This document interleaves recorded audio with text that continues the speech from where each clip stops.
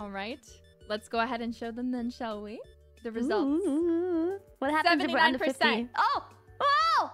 We did well. No, I- I don't like this. Ah, you don't like it. Should have been 100. I know. Uh, Or at least 90. well, we had 22 questions, all in all. We agreed on 17.5 questions, which is really good.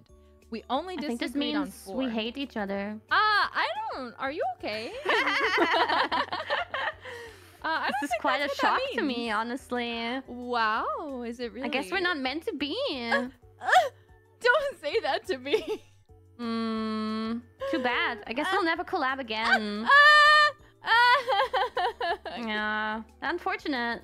Man. Guys, help! You can't let her do this to me. I love Kiara. what a waste of much. potential.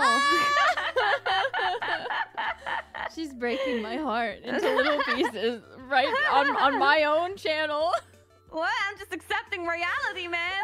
79. This is so good. Just kidding. Just kidding. 70, 79 is pretty good. Look, uh, I, uh, I we agreed on most things, which is is surprising. yeah.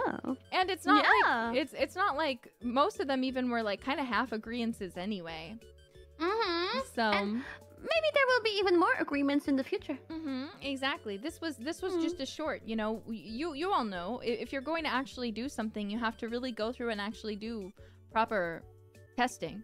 So we'll, we'll Mhm. have to we'll just have to do more of these again in private with different. I feel like we should add um 5% um because the fact that we are both birds is also making us compatible. Yeah, I agree.